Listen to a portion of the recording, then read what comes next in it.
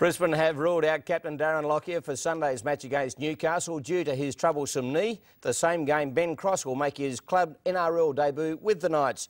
Injuring his wrist in the pre-season, Cross hasn't played a top-level match since Melbourne's premiership win and knows it will take a game or two before he's back on the pace. By his own admission, Ben Cross is a terrible spectator, but the last four weeks of frustration ends on Sunday against the Broncos. While his wrist isn't 100%, there's few doctors that would argue against his return these days. Yeah, a little bit of frustration might come out, but um, no, it'd be good just to get a get the shoulder and a few pads and plays and that, get the contact back. Quite literally, Newcastle's biggest off-season buy, Cross is comfortable with the expectation that comes with it.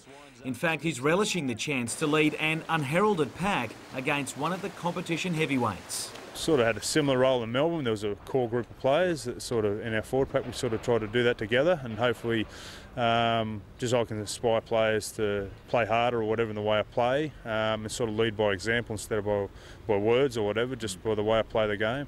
While he returns, the club has lost Jarrod Mullen for at least a week, despite the 5'8 getting news his calf muscle tear isn't as bad as first thought.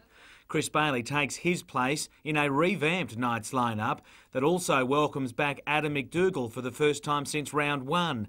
Cross has been named to start, as has Cory Paterson, with Chris Houston on the bench with a host on standby.